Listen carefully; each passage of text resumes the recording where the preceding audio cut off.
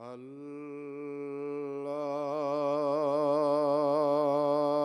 Akbaru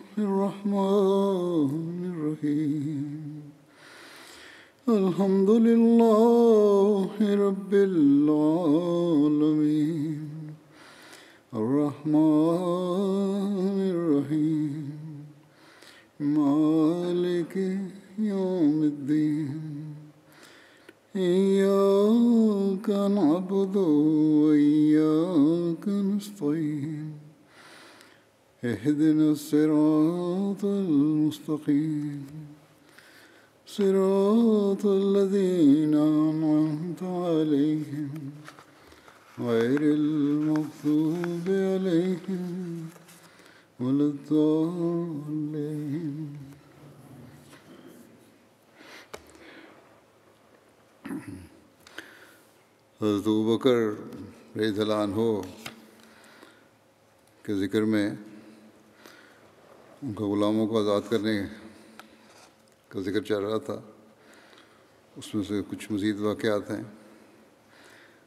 हज़रत अबू बकर ने नहदिया और उनकी बेटी दोनों को आज़ाद कराया। ये दोनों बनु अब्दुलदार की एक औरत की लौंडियाँ थीं। हज़रत बकर इन दोनों के पास से गुज़रे। उस वक्त उनकी मालका ने उनको आटा पीसने के वास्ते भेजा था। और वो मालका ये कह रही थी कि अल्लाह की कसम, मैं तुम्हें कभी आज़ाद नहीं करूँगी। या जिसकी भी कसम वो खा रही थी, बहरहाल। हज़रत अबू बकर ने कहा, ए उम्म फ़लाँ, अपनी कसम को तोड़ दो। उसने कहा, जाओ जाओ, तुमने तुमने ही तो इनको ख़राब किया है। तुम्हें अगर इतना ही ख्याल है तो तुम इन दोनों को आज़ाद करवा लो। हज़रत अबू बकर ने कहा, कि इन दोनों के बदले में कितनी कीमत दूँ? उसने कहा कि इतनी और इतनी। हज़रत बकर ने कहा कि मैंने इन दोनों को ले लिया और ये दोनों आज़ाद हैं। फिर आपने उनसे कहा कि इस औरत का आटा वापस दे दो, यानी उन दोनों को, जिनको लौंडी बनाया गया था। कहा कि इस औरत का आटा वापस दे दो, जो पिसाने के लिए लेके जा रही थी। उन दोनों ने कहा, ए अबू बकर, क्या हम इस काम से फ़ारग हो लें और इस आटा को वापस कर दें? यानी हम जो हमारे ज़िम्मे काम लगाया गया वो कर लें और आटा पिसवा के छोड़ाएँ। अबू बकर ने फरमाया कि ठीक है, अगर तुम दोनों चाहती हो तो ऐसे ही कर लो। हज़रत अबू बकर एक दफ़ा बनु मम्मल की एक लौंडी के पास से गुज़रे। बनु मम्मल बनु अदी बिन काब का एक कबीला था।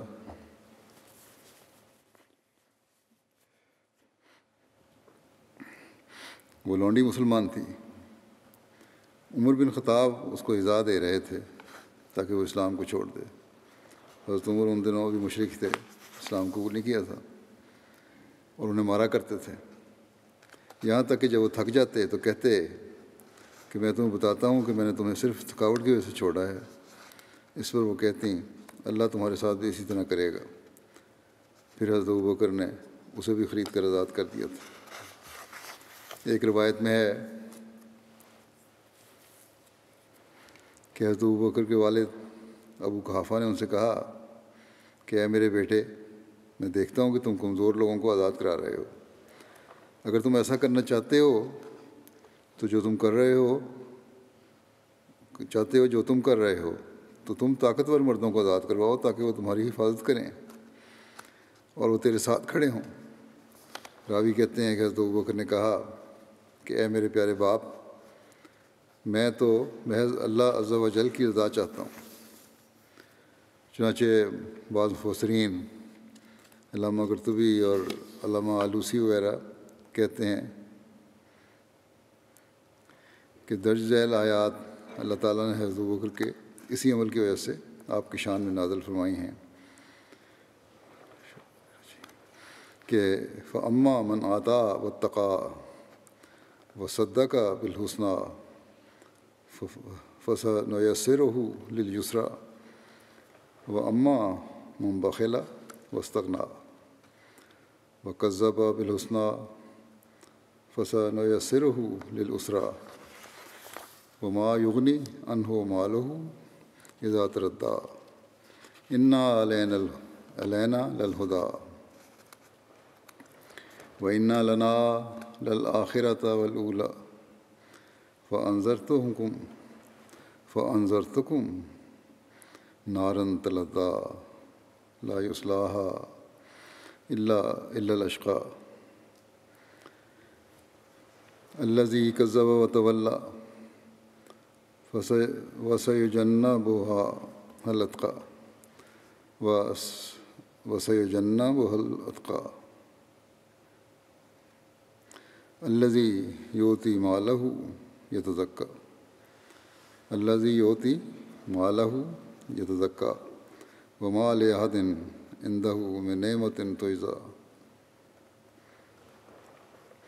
इल्लब्तगा वजह रब्बिल्ला वला सौफ़ यरदा। बस वो जिसने राह हक में दिया और तकवा इख्तियार किया और बेहतरीन नेकी की तस्दीक की तो हम उसे ज़रूर कुशादगी अता करेंगे। और जहाँ तक उसका ताल्लुक़ है, जिसने बखल किया और बेपरवाही की और बेहतरीन देखी की तकजीब की तो हम उसे ज़रूर तंगी में डाल देंगे। और इसका माल जब तबाह हो जाएगा, उसके किसी काम ना आएगा यकीन हदायत देना हम पर बहरहाल फ़र्ज़ है। और यकीन अंजाम भी लाजमन हमारे तसरुफ़ में है और आगाज़ भी। बस मैं तुम्हें इस आग से डराता हूँ। जो शोला जन है, इसमें कोई दाखिल नहीं होगा, मगर सद सख्त बदबख्त, वो जिसने झुटलाया और पीठ फेर ली, जबकि सबसे बढ़कर मुतकी उससे ज़रूर बचाया जाएगा। जो अपना माल देता है, पाकिजगी चाहते हुए, और उस पर किसी का एहसान नहीं है, कि जिसका उसकी तरफ़ से बदला दिया जा रहा हो। ये महज अपने रब रब आला की खुशनुदी चाहते हो, चाहते हुए खर्च करता है, और वह ज़रूर राज़ी हो जाएगा। हज़रत बकर रज़ील्ला ने जो ग़ुलाम आज़ाद किए थे, उनमें से एक हज़रत खबाब बिन अरत भी थे। हज़रत मुस्लिम रज़ील्ला खबाब बिन अरत का ज़िक्र करते हुए फरमाते हैं कि एक और साहब भी जो पहले ग़ुलाम थे, उन्होंने एक दफ़ा नहाने के लिए कुर्ता उतारा तो कोई शख्स पास खड़ा था। उसने देखा कि उनकी पीठ का चमड़ा ऊपर से ऐसा सख्त और खुरदरा है, जैसे भैंस की खाल होती है। वो ये देख कर हैरान रह गया और उन्हें कहने लगा, तुम्हें कब से बीमारी है? तुम्हारी तो पीठ का चमड़ा ऐसा सख्त है जैसे जानवर की खाल होती है। ये सुनकर वो हंस पड़े।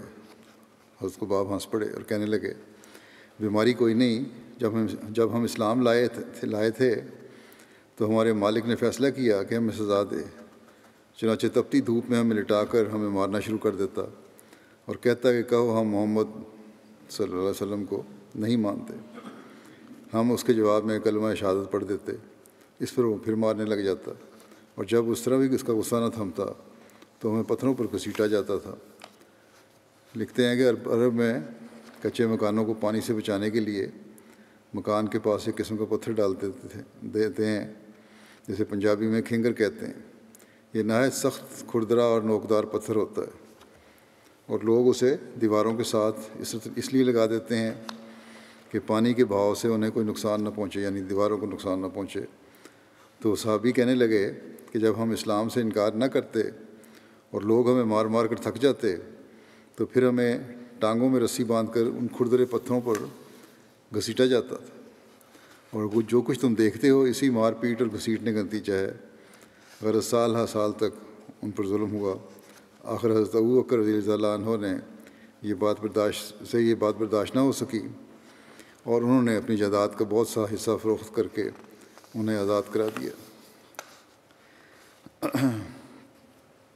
फिर अबू बकर ग़ुलामों को आज़ाद कराने का तस्करा करते हुए एक जगह मसीसानी फरमाते हैं कि ये ग़ुलाम जो रसूल करीम अलैहि वसल्लम पर ईमान लाए, मुख्तलिफ़ अकवाम के थे, इनमें हबशी भी थे, जैसे बलाल रोमी भी थे, रोमी भी थे जैसे सुहैब, फिर उनमें ईसाई भी थे जैसे जुबैर और सुहैब, और मुशरकिन भी थे जैसे बलाल और अमार। बलाल को उसके मालिक तपती रेत पर लिटाकर ऊपर या या तो पत्थर रख देते, या नौजवानों को सीने पर कूदने के लिए मुकर कर देते। हज़रत अबू बकर ने जब उन पर यह जुल्म देखे तो उनके मालिक को उनकी कीमत अदा करके उन्हें आज़ाद करवा दिया। हिजरत हफ्शा का इरादा किया था एक दफ़ा हज़रत अबू बकर ने। इस बारे में आता है आता है कि जब मुसलमान बढ़ गए और इस्लाम ज़ाहिर हो गया तो कुफार कुरैश ने, कुफार कुरैश अपने अपने कबाइल में से उन लोगों को सख्त अजियतें और तकलीफ़ें देने लगे, जो उनमें से ईमान ला चुके थे। उनका मकसद ये था कि वो उन्हें उनके दीन से फिरा दें। इस पर रसूलुल्लाह सल्लल्लाहु अलैहि वसल्लम ने मोमिनों से फरमाया कि तुम लोग ज़मीन में बिखर जाओ। यकीन अल्लाह तुम लोगों को इकट्ठा कर देगा। साहबा ने अर्ज़ किया, हम किस तरफ़ जाएँ? आपने फरमाया, इस तरफ़। और आपने अपने हाथ से हफ्शा की तरफ़ की सरजमीन की तरफ़ इशारा फरमाया। ये रजब सन पाँच नबी की बात है। आ हज़रत सल्लल्लाहु अलैहि वसल्लम के इरशाद पर ग्यारह मर्दों और चार औरतों ने हफ्शा की तरफ़ हिजरत की। मुसलमानों के हफ्शा की तरफ़ हिजरत करने के बाद हज़रत बकर रज़ी हो को भी इज़ा पहुँचाई गई, जिस पर उन्होंने भी हफ्शा की तरफ़ हिजरत का इरादा किया। चुनाचा इस बारे में बुखारी की रवायत में है कि हज़रत आयशा रज़ी तहा बयान करती हैं कि जब मुसलमानों को तकलीफ़ दी गई तो हज़रत बकर हिजरत करने की गरज से हफ्शा की तरफ़ चल पड़े। जब वो बरकुल मुकाम पर पहुँचे बरकुल गमात जो है, यमन का एक शहर है जो मक्का से आगे पाँच रात के मुसाफत पर समुद्र से मुतसिल है। तो उन्हें इबन दगना मिला और वो कारा कबीला का सरदार था। उसने पूछा, ए वो बकर, कहाँ का कसद है? हजू बकर ने कहा, मेरी कौम ने मुझे निकाल दिया है और मैं चाहता हूँ कि ज़मीन में चलूँ, फिरूँ और अपने रब की इबादत करता रहूँ। इबन दगना ने कहा, तुम्हारे जैसा आदमी खुद वतन से नहीं निकलता और ना उसे निकाला जा जाना चाहिए। तुम तो वो खूबियाँ बजा लाते हो जो मदूम हो चुकी हैं और तुम सिला रहमी करते हो, थके हारों के बोझ उठाते हो, मेहमान नवाजी करते हो। और मसायब हक्का पर मदद करते हो। एक जगह तर्जमा इस तरह भी किया गया है कंगाल को कमा कर देते रहे हो, रिश्तेदारों से नेक सलूक किया करते हो, बेचारों को संभालते हो और मेहमान नवाज़ हो और हक की मुश्किल में मदद करते हो।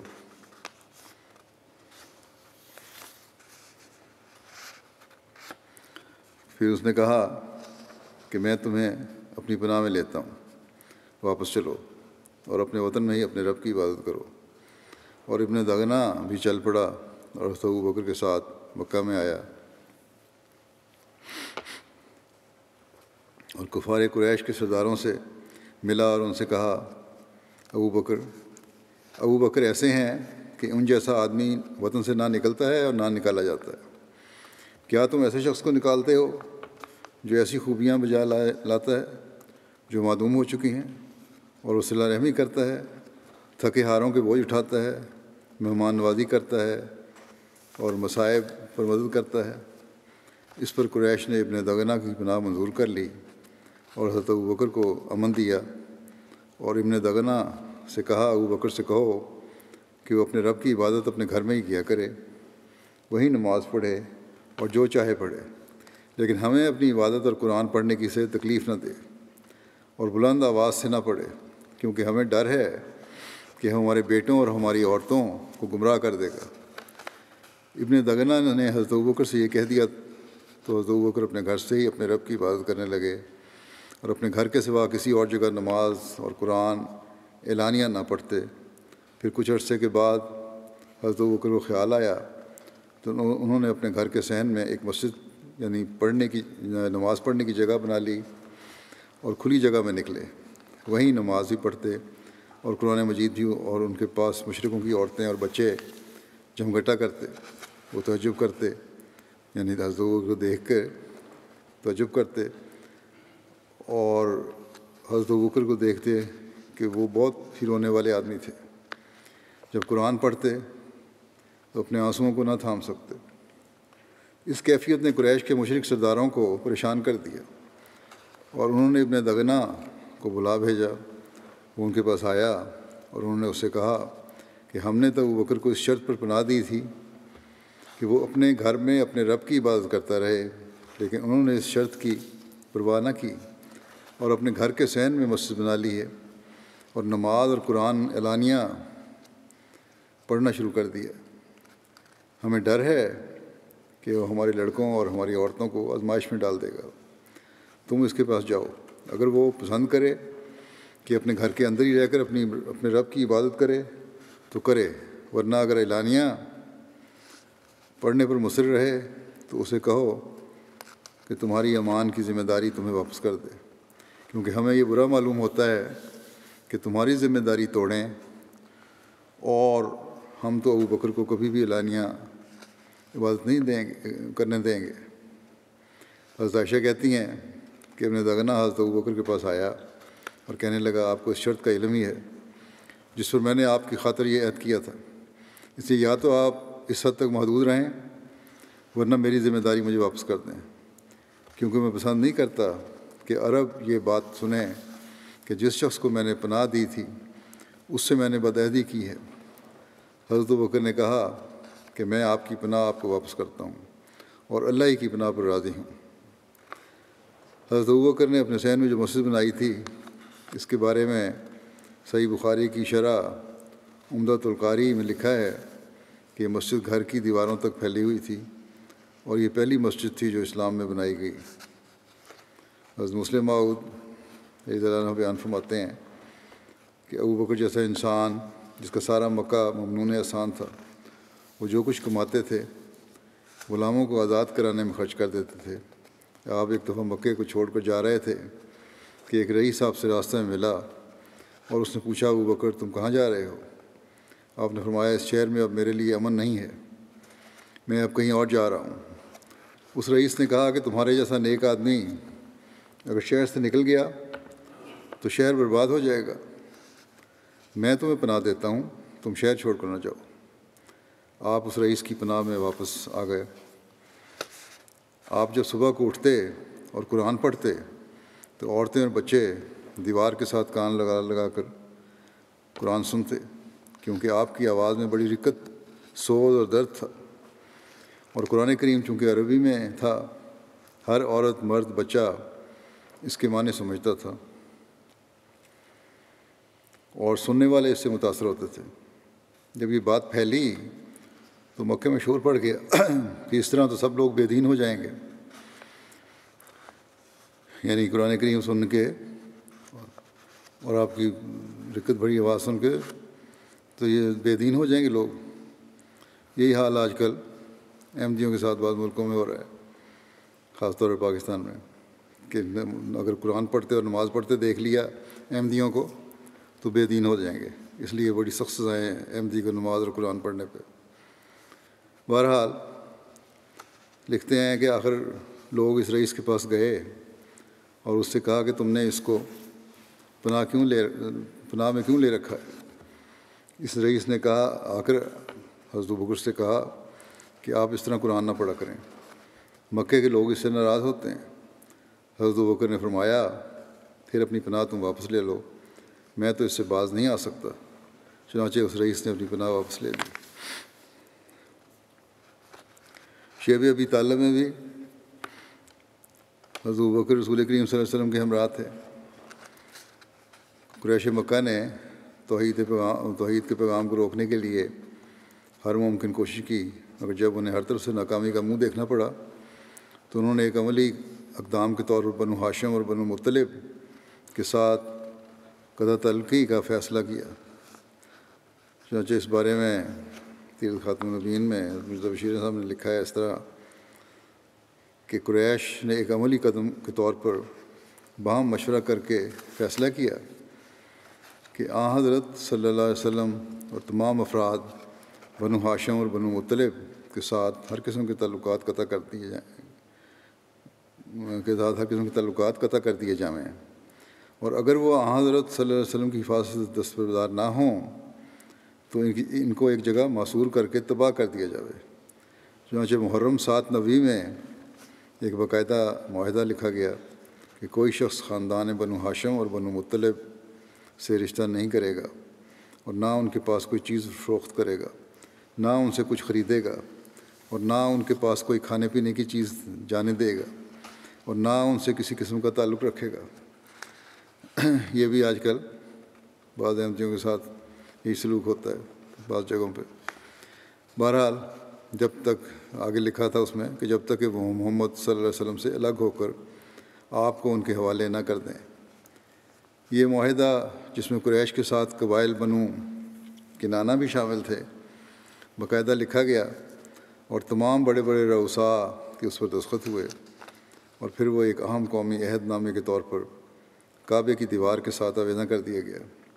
चनाचे आ हज़रत अलैहि वसल्लम और तमाम बनु हाशिम और बनु मुतलब क्या मुस्लिम और क्या काफिर, सिवाय आ हज़रत अलैहि वसल्लम के चचा अबू लहब के, जिसने अपनी अदावत के जोश में कुरैश का साथ दिया। शेब अबी तालब में जो एक पहाड़ी दर्रा की सूरत में था मसूर हो गए। और इस तरह गोया कुरैश के दो बड़े कबीले मक्का की तमदनी ज़िंदगी से अमलन बिल्कुल मुनक़ हो गए। और शेब अबी तालब में जो गोया बनु हाशिम का ख़ानदानी दर्रा था कैदियों की तरह नज़र बंद कर दिए गए। चंद गिनती के दूसरे मुसलमान जो उस वक्त मक्के में मौजूद थे, वो भी आपके साथ थे। इन मुश्किल तरीन हालात में भी हज़रत बकर ने रसूल करीम सल्लल्लाहु अलैहि वसल्लम का साथ न छोड़ा। चनाचे हज़रत शाह वली रहमत रहम ताला फरमाते हैं कि जब कुरैश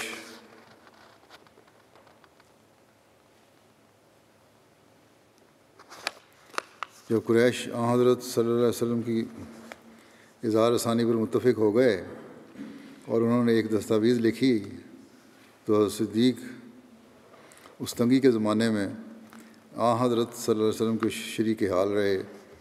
लिहाजा इस वाक़े के बारे में अबू तालिब ने यह शेर कहा है कि हम रजाऊ सहलबना बेदा राजियन फसुर्रा अबू बकरिन बेहा व मोहम्मद। और उन्होंने सहल बिन बेदा को खुश करते हुए वापस भेजा तो इस पर अबू बकर और मोहम्मद खुश हो गए।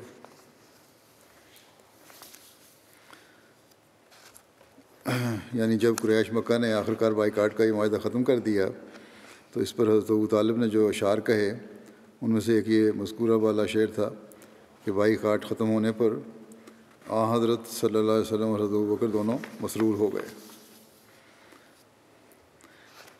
गलबत रूम की पेश गोई और इस पर हज़रत बकर का शर्त लगाना इस बारे में भी ज़िक्र आता है। हज़रत इब्न अब्बास से अल्लाह ताला के इरशाद अलिफ्लाम मीम, गलबत रूम, फ़ी अदनल अर्ज़। के बारे में रवायत है। उन्होंने गलबत और गलबत। उन्होंने कहा कि गलबत और गलबत, वो कहते हैं कि मुशरकिन पसंद करते थे कि अहल फ़ारस, अहल रोम पर गालब आ जाएँ, क्योंकि ये और ये और वो बुत परस्त थे। और मुसलमान पसंद करते थे कि अहल रोम, अहल फ़ारस पर गालब आ जाएँ, इसलिए कि वह अहल किताब थे। उन्होंने इसका ज़िक्र हज़रत बकर से किया और हज़रत बकर ने रसूलुल्लाह सल्लल्लाहु अलैहि वसल्लम से इसका ज़िक्र किया तो आपने फरमाया वो ज़रूर गालिब आ जाएँगे। हज़रत बकर ने इसका ज़िक्र उनसे किया तो उन्होंने कहा कि हमारे दरमियान और अपने दरमियान एक मुद्दत मुकर कर लो, यानी मुखालफन से, मुशरकिन से। अगर हम गालिब आ गए तो हमारे लिए ये और ये होगा। और अगर तुम गालिब आ गए तो तुम्हारे लिए ये और ये होगा, यानी शर्त लगाई उस पर तो उन्होंने पाँच साल की मदद रखी और वो गालिब ना आ सके। उन्होंने इसका ज़िक्र नबी करीम वसल्लम से किया तो आपने फरमाया कि तुमने इससे ज़्यादा क्यों ना रख ली? रावी कहते हैं कि मेरा ख्याल है आपकी मुराद दस दस थी। ये तिरमजी की रवायत, तफसीर की रवायत है। सही बुखारी की एक रवायत में रसूल करीम सल्लल्लाहु अलैहि वसल्लम की चार ऐसी पेशगोइयाँ का ज़िक्र किया गया है। जो कि बड़ी शान के साथ पूरी हुई। इन पेश पेशगोइयों में गलबा रूम वाली पेशगोई भी है चुनाचे मसरूक रवायत करते हैं कि हम हज़रत अब्दुल्ला बिन मसूद के पास थे।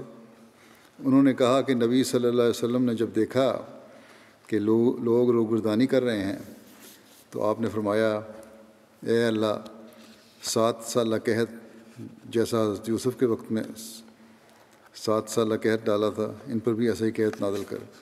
सो उन पर ऐसा कहत पड़ा, जिसने हर एक चीज़ को फना कर दिया। यहाँ तक कि आखिर उन्होंने खाल और मुर्दार और बदबूदार लाशें भी खाईं। और उनमें से कोई जो आसमान की तरफ़ नज़र करता तो भूख के मारे उसे धुआँ ही नज़र आता था। ये फिर चार पेश में ज़िक्र है उनमें से एक वाक़ ये है। अबू सफ़ियान आपके पास आया है, और उन्होंने कहा कि मोहम्मद सल्लल्लाहु अलैहि वसल्लम, आप तो अल्लाह ताला की फरमाबरदारी और सिला रहमी का हुक्म करते हैं। और ये देखें, आपकी कौम हलाक हो गई है। अल्लाह से उनके लिए दुआ करें। अल्लाह ताला ने फरमाया था, बस इंतज़ार कर, उस दिन का जब आसमान एक वाद धुआँ लाएगा, ज़रूर तुम इन्हीं बातों का अदा करने वाले हो, जिस दिन हम बड़ी गिरफ्त करेंगे। बस ये बड़ी गिरफ्त बदर के दिन हुई, चनाचे धुएँ का अजाब और सख्त गिरफ्त। और लिजामन वाली पेशगोई और रोम की पेशगोई, ये सब बातें हो चुकी हैं। ये बुखारी की रवायत है।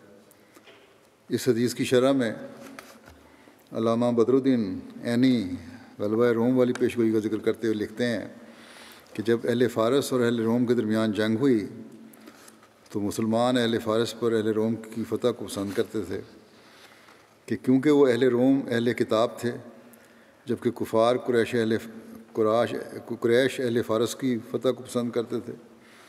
क्योंकि वह अहल फ़ारस मजूसी थे और कुफ़ार कुरैश कुफ़ार कुरैश भी बुतों की इबादत करते थे। बस इस बात पर हज़रत बकर और अबू जहल के दरमियान शर्त लग गई। यानी उन्होंने किसी चीज़ पर आपस में चंद साल की मदद मुकर कर ली। तो रसूलुल्लाह सल्लल्लाहु अलैहि वसल्लम ने फरमाया, बिजुन का लफ्ज़ है वहाँ। कि बिजुन तो नौ बरस या सात बरस तक पर इतलाक पाता है, बस मुद्दत को बढ़ा दो। फिर उन्होंने हज़रत बकर ने ऐसा ही किया, बस अहल रोम गालिब आ गए। अल्लाह ताला ने फरमाया अलिफ्लाम मीम, गुलबत फ़ी अदन अर्ज़ वहूम बाद गलब गलब हिम सगलबून फ़ी बिज़ सिनीन। लामरो मिन कबलो व मिम बात व योम यफ़रमोमिनून बनसर तर्जमा यह है कि आलम अल्लामीम का, कि मैं अल्लाह सबसे जानने वाला हूँ। अहल रोम मगलूब किए गए करीब की ज़मीन में और वो अपने मगलूब होने के बाद फिर ज़रूर गालब आ जाएँगे। तीन से नौ साल के अरसे तक हुक्म अल्लाह ही का चलता है, पहले भी और बाद में भी। और उस दिन मोमिन भी अपनी फतवाहत से बहुत खुश होंगे, जो अल्लाह की नुसरत से होगी। और शाह भी कहते हैं कि इसको शर्त लगाना हलाल था। उस मिर्ज़ा बशीर साहब ने इस बारे में लिखा है कि इस्लाम से कबल और इस्लाम के इब्तदाई ज़माने में तमाम मतमदन दुनिया में सबसे ज़्यादा ताकतवर और सबसे ज़्यादा वसी सल्तनतें दो थीं, सल्तनत फ़ारस और सल्तनत रोम। और दोनों सल्तनतें अरब के करीब वाक़ थीं। सल्तनत फ़ारस अरब के शुमाल मशरक़ में थी और सल्तनत रोम शुमाल मगरब में। चूँकि इन सल्तनतों की सरहदें मिलती थीं, इसलिए बाज़ अवकात इनका आपस में जंग जदल भी हो जाता था। उस ज़माने में भी जिसका ज़िक्र आता है कि सल्तनत बरसरे प्रकार थे, जैसे ये जब पेश गोई हुई, उस ज़माने की बात है। और सल्तनत, फ़ारस ने सल्तनत रोम को ज़ेर किया हुआ था। और उसके कई कीमती इलाके छीन लिए थे। और उसे बराबर दबाती चली जाती थी।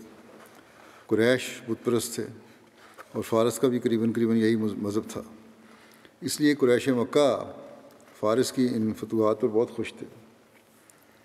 मगर मुसलमानों की सल्तनत रोम से हमदर्दी थी, क्योंकि रोमी सल्तनत सल्तनत ईसाई थी और ईसाई बवजह अहल किताब होने और हज़रत मसीह नासरी से नस्बत रखने के बुत परस्त और मजूसी अकवाम की नस्बत मुसलमानों के बहुत करीब थे। ऐसे हालात में आ हज़रत सल्लल्लाहु अलैहि से इलम पाक, ने अल्लाह ताला से इलम पाकर पेशगोई फरमाई कि उस वक्त रोम फ़ारस से मगलूब हो रहा है। मगर चंद साल के इस वक्त रोम फ़ारस से मगलूब हो रहा है, मगर चंद साल के अरसे में वो फ़ारस पर गालब आ जाएगा और उस दिन मोमिन खुश होंगे। ये पेशगोई सुनकर मुसलमानों ने, जिनमें हज़रत अबू बकर का नाम ख़ास तौर पर मजकूर हुआ है, मक्के में आम ऐलान करना शुरू किया कि हमारे खुदा ने यह बताया है कि अनकरीब रूम फ़ारस पर गालब आएगा। कुरैश ने जवाब दिया कि अगर ये पेशगोई सच्ची है तो आओ शर्त लगा लो। क्योंकि उस वक्त तक इस्लाम में शर्त लगाना ममनू नहीं हुआ था। हज़रत अबू बकर ने उसे मंजूर कर लिया और रउसाए कुरैश और हज़रत अबू बकर के दरमियान चंद ऊँटों की हार जीत पर शर्त करार पा गई और छः साल की मियाद मुकर हो गई। मगर जब आ हज़रत सल्लल्लाहु अलैहि वसल्लम को इसकी इतला पहुँची तो आपने फरमाया, छः साल की मियाद मुकर करना गलती है। अल्लाह ताला ने तो मियाद के मतलब बिज़ सनीन का अल्फाज फरमाए हैं। जो अरबी मुहावरा की रूह से तीन से लेकर नौ तक के लिए बोले जाते हैं। ये उस ज़माने की बात है, जबकि आप सल्लल्लाहु अलैहि वसल्लम मक्का में ही मुकीम थे और हिजरत नहीं हुई थी। उसके बाद मुकर मियाद के अंदर अंदर ही जंग ने अचानक पलटा खाया और रूम ने फ़ारस को ज़ेर करके थोड़ी अरसे में ही अपना तमाम इलाका वापस छीन लिया। ये हिजरत के बाद की बात है। हिजरत के बाद फिर फतह हो गई थी रोमियों की। इस बारे में मुस्लिम इजरान बयान फरमाते हैं कि आप सल्लल्लाहु अलैहि वसल्लम अभी मक्के में ही थे कि अरब में ये खबर मशहूर हुई कि ईरानियों ने रोमियों को शिकस्त दे दी है। इस पर मक्के वाले बहुत खुश हुए कि हम भी मुशरक हैं और ईरानी भी मुशरक। ईरानियों का रोमियों को शिकस्त दे देना एक नेक शगुन है। और उसके माने ये हैं कि मक्के वाले भी मोहम्मद अलैहि वसल्लम पर गालिब आ जाएँगे। ये शगुन उन्होंने निकाला।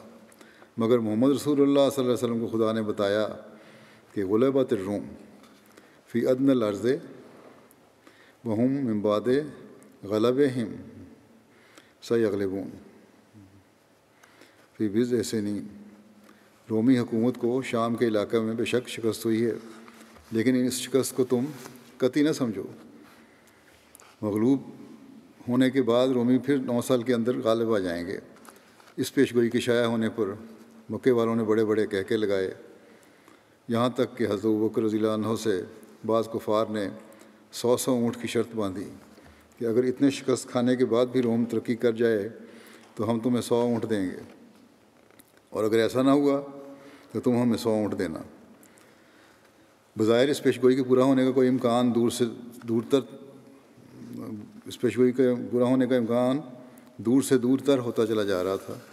शाम की शिकस्त के बाद रोमी लश्कर मुतवातर कई शिकस्तें खाकर पीछे हटता गया। यहाँ तक ईरानी फ़ौजें, बहरा मार, मारमोरा के किनारों तक पहुँच गईं। कुस्तनतनिया अपने एशियाई हुकूमतों से बिल्कुल मुनक़ हो गया और रोम की ज़बरदस्त हुकूमत एक रियासत बनकर रह गई। मगर खुदा का कलाम पूरा होना था और पूरा हुआ। इंतहाई मायूसी की हालत में रोम के बादशाह ने अपने सिपाहियों समेत आखिरी हमला के लिए कुस्तनतनिया से खरूज किया और एशियाई साहल पर उतर कर एक ईरानियों से एक फ़ैसला कन जंग की तरह डाली। रोमी सिपाही बावजूद तादाद और सामान में कम होने के कुरान करीम की पेशगोई के मुताबिक ईरानियों पर गालिब आए और ईरानी लश्कर ऐसा भागा कि ईरान की सरहदों से वरे उनका कदम कहीं भी ना ठहरा और फिर दोबारा रोमी हुकूमत के हुकूमत के अफ्रीकी और एशियाई मफतूका ममालक उसके कब्ज़े में आ गए। हज़रत मसीम सलाम फरमाते हैं कि जब अबू बकर सिद्दीक रज़ी तहों ने अबू जहल से शर्त लगाई और कुरान शरीफ की वो पेशगोई मदार शर्त रखी गई, रखी कि अलिफ लाम मीम, गलबत रूम फ़ी अदनल अर्ज़ वहूम बाद गलब हिम सगलबून फ़ी बिज़ नहीं और तीन बरस का अरसा ठहरा, ठहराया तो आप वसल्लम पेशगोई की सूरत को देखकर फिलफौर दूर अंदेशी को काम में लाए और शर्त की किसी कदर तरमीम करने के लिए अबू बकर को फरमाया और फरमाया कि बिज़ सनीन का लफ्ज़ मुजमिल है और अक्सर नौ बरस तक इतला पाता है। फिर नबी करीम वसल्लम का कबाइल के सामने अपने आप को पेश करना या नहीं अपना दावा पेश करना और हज़रत बकर का आपके साथ साथ होना। जब अल्लाह ताला ने अपने दीन को गालिब करने और अपने नबी को इज़्ज़त व इकराम अता फरमाने और अपने वादे को पूरा करने का इरादा किया तो सल्लल्लाहु अलैहि वसल्लम हज के अयाम में बाहर निकले और अंसार के कबाइल और खजरज से मुलाकात की। आपने हज के अयाम में अपने आप को पेश किया, जैसा कि आप हर साल हज के अयाम में किया करते थे। चुनाचे एक रवायत में मजकूर है, हज़रत अली बिन अबू तालिब बयान करते हैं कि जब अल्लाह ताला ने अपने नबी सल्लल्लाहु अलैहि वसल्लम को हुक्म दिया कि वो अपने आप को कबाइल अरब के सामने पेश करें तो मैं और हज़रत अबू बकर हज़रत वसल्लम के हमरा मीना की तरफ़ निकले। यहाँ तक कि हम अरबों की एक मजलिस के पास पहुँचे। हज़रत आगे बढ़े और आप हसब नस्ब में महारत रखते थे। उन्होंने पूछा, आप लोग किस कौम से हो? उन्होंने कहा, कि रबिया कबीले से। हज़रत ने पूछा, रबिया की किस शाख से? उन्होंने कहा, जहल से। फिर हज़रत अली कहते हैं कि, हम लोग औस और खजरज की मजलिस में गए और यही वो लोग यही वो लोग हैं। जिन्हें अलैहि वसल्लम ने अंसार का नाम दिया था, क्योंकि उन्होंने आपको पनाह और मदद देना कबूल किया था। हज़रत अली कहते हैं कि हम नहीं उठे यहाँ तक कि उन लोगों ने नबी करीम वसल्लम की बैत कर ली।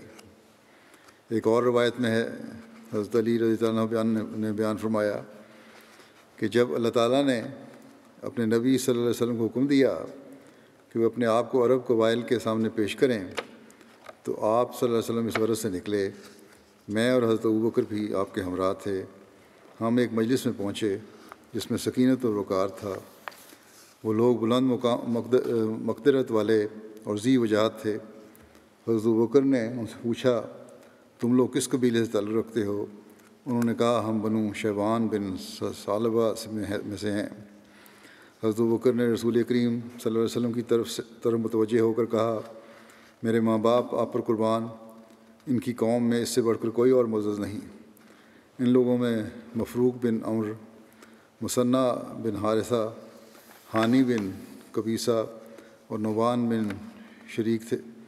रसूलुल्लाह सल्लल्लाहु अलैहि वसल्लम ने उनके सामने ये आयत पढ़ी कि कुल तालो अतलो मा हर्रमा, अतलो मा हर्रमा रब्बुकुम अलैकुम। अल्लाह तुशरकू बेही शयहूँ वबिल वालदैन एहसाना। वला तख्तलू औलादकुम मिन इमलाक नानो नर्जुकुम वैयाहूँ वला तकरबुलफ़वाहिशा मा ज़हर मिनहा वमा बतन। वला तख्तुलनफ़सलती हर्रमुल्लाह हर्रम अल्लाह इल्ला बिलहक़। वला तख्तुलनफ़सलती हर्रम अल्लाह इल्ला बिलहक़ ज़ालिकुम वसाकुम बिही लअल्लकुम ताक़िलून। तर्जमा यह है कि तू कह दे, आओ मैं पढ़ कर सुनाऊँ जो तुम्हारे रब ने तुम पर हराम कर दिया। यानी ये कि किसी चीज़ को इसका शरीक न ठहराओ और लाजम कर दिया है कि वालदेन के साथ एहसान से पेश आओ और रिस्क की तंगी के खौफ से अपनी औलाद को कत्ल न करो। हम ही तुम्हें रिस्क देते हैं और उनको भी। और तुम बेहयाइयों के जो उनमें ज़ाहिर हों और जो अंदर छुपी हुई हों, दोनों के करीब न फटको। और किसी ऐसी जान को जिसे अल्लाह ने हरमत बख्शी हो, कत्ल न करो, मगर हक के साथ यही है जिसकी वो तुम्हें तक तकीद करता है, ताकि तुम अकल से काम लो।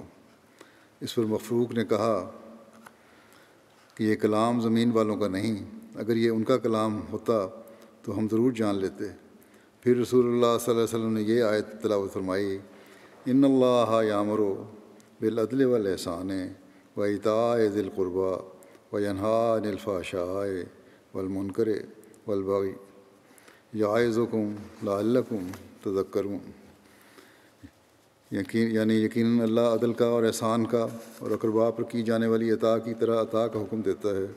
और बेहयाई और नापसंदीदा बातों और बगावत से मना करता है, वो तुम्हें नसीहत करता है ताकि तुम इबरत हासिल करो।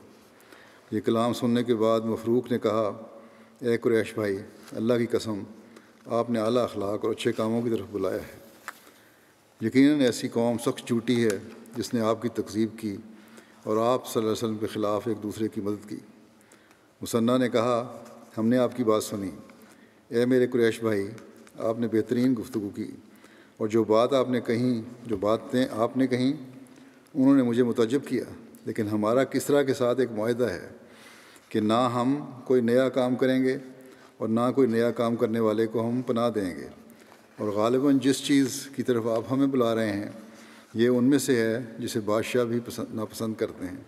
अगर आप चाहते हैं कि अरब के कुर्ब जवार के लोगों के मुकाबला में हम आपकी मदद करें और आपकी हिफाजत करें तो हम ऐसा करेंगे। इस पर रसूलुल्लाह सल्लल्लाहु अलैहि वसल्लम ने उनसे फरमाया, तुम्हारे जवाब में कोई बुराई नहीं है क्योंकि तुम लोगों ने वजाहत के साथ सच्चाई का इजहार कर दिया। अल्लाह के दीन पर वही कायम रह सकता है, जिसको अल्लाह ने हर तरफ़ से घेरे में लिया हो। फिर रसूलुल्लाह सल्लल्लाहु अलैहि वसल्लम ने हज़रत बकर का हाथ पकड़ा और उठकर रवाना हो गए। एक रिवायत है कि आप सल्लल्लाहु अलैहि वसल्लम ने यह फरमाया कि तुम्हारा क्या ख्याल है? अगर थोड़ी सी मुद्दत में अल्लाह ताला तुम्हें इन यानी किसरा की सरजमीन और मुल्क का वारिस बना दे और उनकी ख़वातीन तुम्हारे कब्ज़े में आ जाएँ तो क्या तुम अल्लाह की तस्बी व तकदीस करोगे? ये सुनकर उसने कहा कि इलाही, हम तैयार हैं। मैंने कसम खाई। खुदा की कुदरत, देखें कि आ हज़रत वसल्लम की बात हर हरफ पूरी हुई और वही मुसन्ना जो उस वक्त किसरा की ताकत से इतना मरूब था कि उसकी नाराज़गी के डर से इस्लाम कबूल करने से हिचकिचा रहा था। कुछ ही देर बाद हज़रत बकर के अहद खिलाफत में इसी किस तरह से मुकाबला करने वाली इस्लामी फ़ौज के सिपा सलार, यानी यही मुसन्ना बिन हारसत ही थे, जिन्होंने किसरा की कमर तोड़ कर रख दी और आ हज़रत वसल्लम की बिशारतों के मसदाक बने। इसी तरह एक हज के मौके की रिवायत यूँ है कि जब कबीला बकर बिन वायल हज के लिए मक्का आया तो रसूलुल्लाह सल्लल्लाहु अलैहि वसल्लम ने हज़रत बकर से फरमाया कि उन लोगों के पास जाएँ और मुझे उनके सामने पेश करें, यानी तबलीग करें, आपका दावा पेश करें। हज़रत बकर उन लोगों के पास गए और नबी करीम वसल्लम को उनकी खिदमत में पेश किया तो आप वसल्लम ने उनको इस्लाम की तबलीग की। बाकी इन आइंदा ज़िक्र होगा। आज मैं अफ़गानिस्तान के अहमदियों के लिए दुआ के लिए भी कहना चाहता हूँ। बहुत तकलीफ़ में गुजर रहे हैं। बाज़ गिरफ़्तारियाँ भी हुई हैं। औरतें बच्चे बड़े परेशान हैं घरों में अपने। जो बाहर हैं, मर्द जो गिरफ़्तार नहीं हुए, वो भी बेघर हुए हुए हैं। क्योंकि ख़तरा है कि गिरफ़्तारियाँ ना हो जाएँ। अल्लाह ताला उनके लिए आसानियाँ पैदा फरमाए और उनको इस मुश्किल से निकाले। फिर पाकिस्तान के अहमदियों के लिए भी दुआ करें। वहाँ भी अमूमी तौर पर हालात ख़राब ही होते हैं। कहीं ना कहीं कोई ना कोई वाक़ हो जाता है, जो लोग अहमदियों को तकलीफ़ें दे रहे हैं। इसी तरह मजमू तौर पर भी दुआ करें अल्लाह ताला, दुनिया को मसीम को पहचानने की तोफ़ी अता फ़रमाए और हर शर को ख़त्म करे और दुनिया अपने पैदा करने वाले की की हकीकत को पहचान ले। इसके बाद मैं बाज़ मरहूमिन का ज़िक्र करूँगा, जिनका जनाजा गायब पढ़ाऊँगा बाद में। पहला ज़िक्र है अलहाज अब्दुलरमान एन साहिब। ये सेक्रेटरी सबक सेक्रटरी उमरामा और अफसल सलाना थे गाना के। घानियन थे, इक्यासी साल की उम्र में ये वफात हुई है। ना वन्ना लहराजून दोनों वालदेन इनके अहमदी थे, इनके वालदेन ने अमजद कबूल की थी।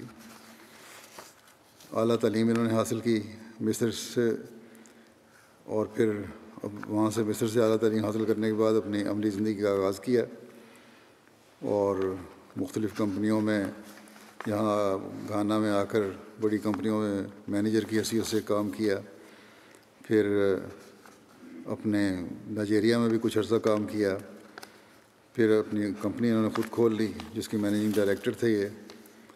बड़े नेक, मुखलिस इंसान थे। जमात की मिसाली खिदमत की तोफ़ी मिलती रही इन्हें। सारी ज़िंदगी जमाती मफाद और काम को अपने ज़ाती मफाद पर तरजीह दी। मुख्तलिफ़ अहदों पर फ़ायद रहकर खिदमत की तोफ़ी पाते रहे। हमेशा अमीर जमात की इतात और हर आवाज़ पर लबैक कहना, अपनी सादत लबैक कहने में अपनी सादत समझते थे। अक्सर अवकात सुबह पहले वक्त में मिशन आकर अमीर साहब से मिलते और मालूम करते अगर कोई जमाती काम हो तो पहले निपटाते और फिर अपने काम के लिए जाते। ये ग्रेटर अकरा रीजन के बड़ा लंबा अरसा सदर रहे हैं। फिर उन नवासी से लेकर अठानवे तक मजलिस अंसारुल्लाह के सदर रहे। फिर सेक्रेटरी अमूरामा इन्होंने बड़ा लंबा अरसा काम किया। फिर अफसर जैसा अफसर जैसा सलाना के तौर पर उनको काम की तोफ़ी मिली। और वफ़ात के वक्त नेशनल ट्रस्टी की हैसियत से खिदमत की तोफ़ी पा रहे थे। हर किसी की मदद के लिए हर वक्त तैयार रहते थे, बहुत सखी थे। हमदर्दी सिर्फ़ अपनी फैमिली तक मदूद नहीं थी, बल्कि आपकी सखावत, अज़ीज़ रिश्तेदारों के अलावा अफराद जमात और बिला तफरीक मज़हब, मोहल्ले के अफराद में तक फैली हुई थी। जमात के वफादार और खिलाफत के जानसार सिपाही थे। हमेशा जमात, जमाती मफाद को हर दूसरी चीज़ पर फोकियत दी और कभी किसी मुखालफत की कोई परवाह नहीं की। तजद गुजार थे, बड़ी बाकायदगी तजद पढ़ने वाले थे और सफ़र हज़र में हर जगह इसकी पाबंदी करते थे। मूसी थे और चंदों में बड़ी बाकायदगी थी उस्मान खान में अहलिया के अलावा पाँच बच्चे और पाँच पाँच बेटे और पाँच बेटियाँ छोड़ी हैं। घाना के रबी हैं हाफिज बशर अहमद। लिखते हैं कि बहुत फरासत थी इनमें। बड़ी मुख्तर और मंतक की बात करते थे और फ़ौर मामले की तह तक पहुँच जाते थे। बोर्ड के मीटिंग के दौरान एक दफ़ा कहते हैं, हर कोई अपनी राय दे रहा था, एक मामला था, जिसको तूल दिया जा रहा था। अब खामोशी सुनते रहे, जब उनकी बारी आई तो उन्होंने कहा कि इस बारे में खलीफा की तरफ़ से एक फ़ैसला आ गया है। इसलिए हमें बहस करने की ज़रूरत नहीं, क्योंकि जब खलीफा की तरफ़ से फ़ैसला आ जाए तो फिर कोई राय नहीं देनी चाहिए, बल्कि हमें उस पर मिन्न अमल करना चाहिए। इस किस्म के मुखलसिन अल्लाह ताला ने दूर दराज इलाकों में भी अता फरमाए हुए हैं। फिर अगला ज़िक्र है अजियाब अली मोहम्मद अलजवाली साहब। जो गुज्तर दिनों फौत हुए इना राजून उर्दन की जमात के थे ये। सदर साहब उर्दन जमात लिखते हैं कि इन्होंने 2010 में बैत की थी। अपने इलाके में अकेले एमडी थे। और यहाँ के रस्म रवाज के मुताबिक, क्योंकि खामद के साथ उसकी अहलिया भी उसी दिन पे आ जाती है, इसलिए वो भी एमडी हो गई।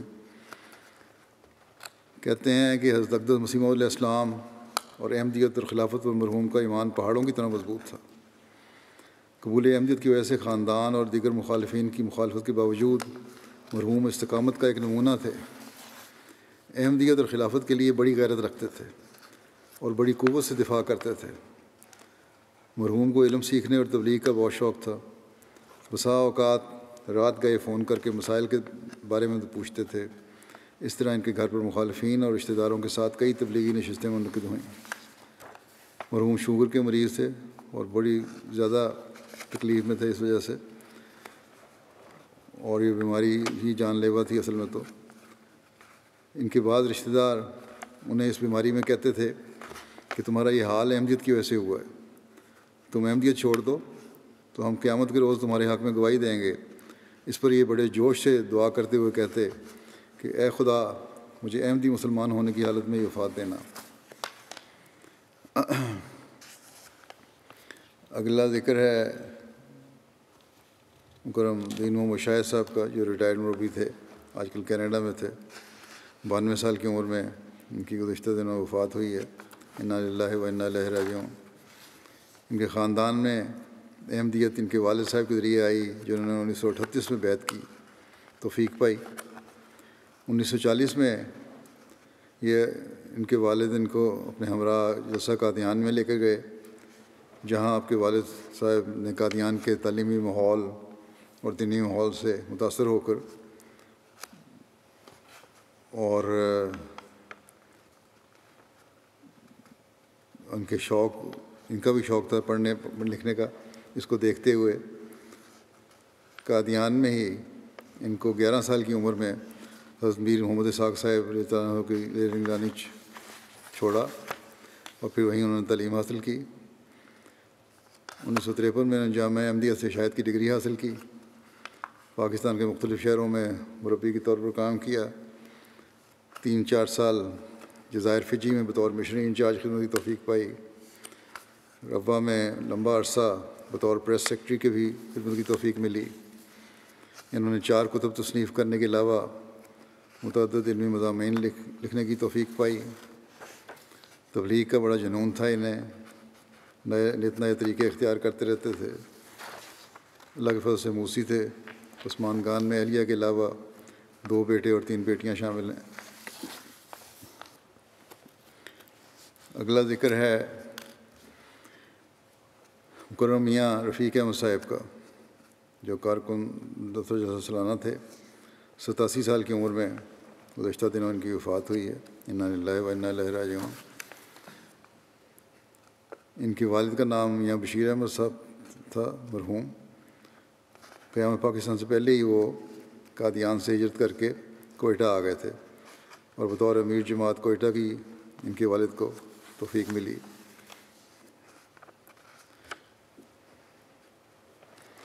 मियाँ रफ़ीक साहब के ख़ानदान में अहमद का नफूज इनके दादा हज़रत डॉक्टर अब्दुल्ला साहब सहाबी हज़रत मसीम के ज़रिए से हुई, हुआ। 1960 में मियाँ रफ़ीक साहब ने इंजीनियरिंग कॉलेज लाहौर से मैकेनिकल इंजीनियरिंग में बी एस सी किया। उसके बाद फिर ये मुख्तलिफ़ महकमों में काम करते रहे, फिर तंजानिया चले गए दस पंद्रह साल, दस साल का तकरीबन अरसा तंजानिया में गुजारा। फिर कुछ अर्सा वहाँ किसी कंपनी में काम के अलावा पढ़ाते भी रहे। तंजानिया में भी इन्हें सेक्रेटरी माल के तौर पर खिदमत की तोफ़ी मिली। उन्नीस सौ छियासी में इन्होंने वक्फ़े आर्जी के तौर पर जलसा सालाना के दफ्तर में खदमात भी जलानी शुरू की और फिर उन्नीस सौ सतासी में बाकायदा दफ्तर जलसा सालाना में कारकुन की सी से काम शुरू किया। फिर उन्नीस सौ नवासी में, एटी नाइन में, ज़िंदगी वफ करके जलसा सालाना रवा के टेक्निकल शोबा में, बतौर नाजम टेक्निकल अमूर खदमात जलानी शुरू की और तादम आखिरी से खिदमत मामूर रहे।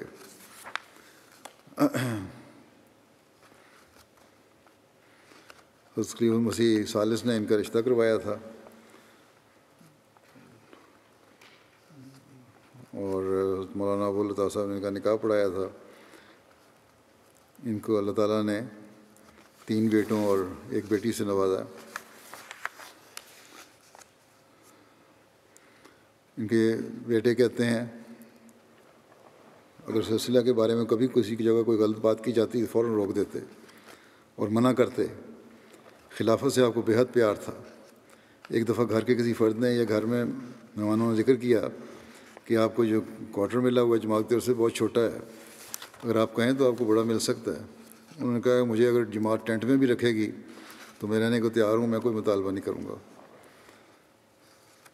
फिर इनके बेटे ने लिखा कि वाल साहब की वफ़ात के बाद हमारी, हमें ये, इनकी खूबी हमारे इलम में आई कि बाज़ गरीबों की पोशीदा तौर पर मदद किया करते थे। इनके छोटा बेटे कहते हैं कि तहजद गुजार थे, कुरान करीम से मोहब्बत रखने वाले थे। नरम दिल, प्यार भरा लहजा, ईमानदार, सच्चाई और बेशुमार अला खसूसियात के हामिल थे। वाल साहब खलीफा वक्त की इतात और खिलाफत से वफा और वक्त निभाने का गैर मामूली जज्बा पाया जाता था। ये मैंने भी देखा है इनमें। इंतहाई शरीफनफ्स इंसान, बड़ी आजी से हर काम करने वाले और वफा के साथ अपना वैद का हक अदा करने वाले थे।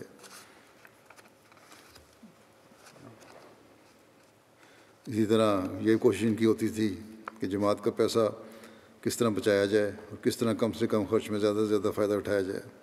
इन्होंने बाज़ रोटी पकाने की मशीनें भी डिज़ाइन की और इनके लिए काफ़ी काम किया है रवा में। फिर ये लिखते हैं कि तकलीफ़ या परेशानी के वक्त मैंने देखा है हमेशा इनमें सब्र और हौसला अक्सर दफ़ा परेशानी या तकलीफ़ के वक्त कुरान करीम पढ़ते देखा। बीमारी के वक्त और वफात से कबल भी उन्हें, ज़रा भी तकलीफ़ का एहसास नहीं होने दिया इन्होंने। हर काम बड़ी ईमानदारी और जज्बे से करते थे। इससे पहले भी ज़िक्र हो चुका है। अगला ज़िक्र है मुकरमा कांता जफ़र साहिबा का, जो करम एहसान जफ़र साहब सबक अमीर जमात अमरीका की एहलिया थी। गुज्त दिनों कार के हादसे में इनकी वफात हो गई। इन्ना व इन्ना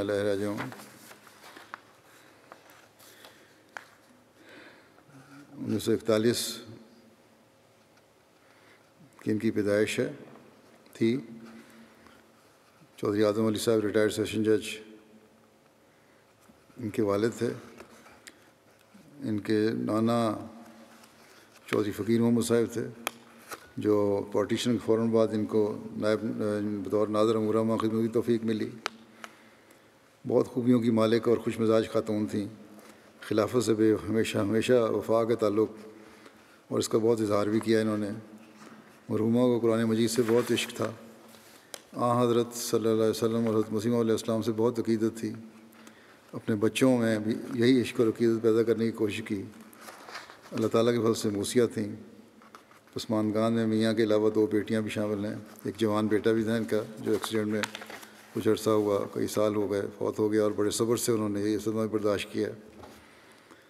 इनाम कौसर साहब रबी लिखते हैं ऑस्ट्रेलिया के, कि मैं अमेरिका में थे जब ये, कहते हैं कुरान करीम की क्लासें लगती थी तो बाकायदगी से शामिल होती थी और बड़ी दूर का फासला तय करके आया करती थी।